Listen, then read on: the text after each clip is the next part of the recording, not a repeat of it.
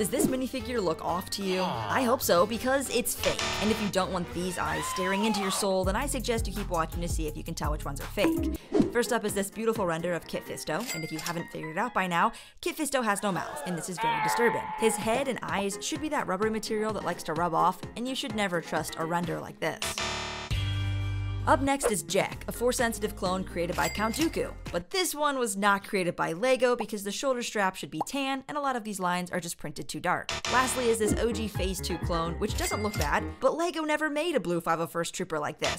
And at the time, LEGO definitely didn't do leg printing. Even when the correct answer is staring you in the face, it can still be questionable which one is fake, which is why you should always do your research, be smart, and after subscribing, tell me